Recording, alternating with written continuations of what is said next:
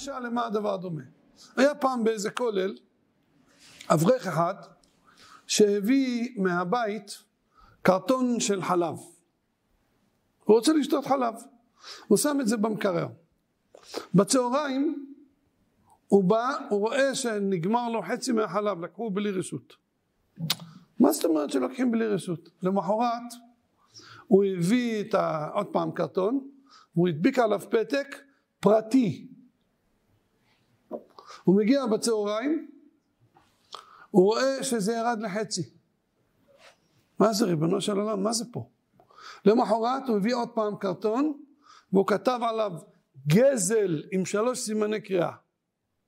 גזל. הוא מגיע בצהריים, ירד לחצי.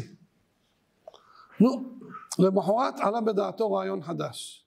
הוא בא, הוא הביא את הקרטון והוא כתב עליו חלב נוכרי.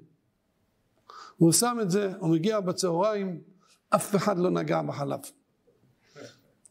ואז, יותר מזה, הגנבים הקודמים באו אליו ואמרו לו, למה לא אמרת לנו שזה חלב נוכרי? הכשלת אותנו. איפה גזל דאורייתא ואיפה חלב נוכרי?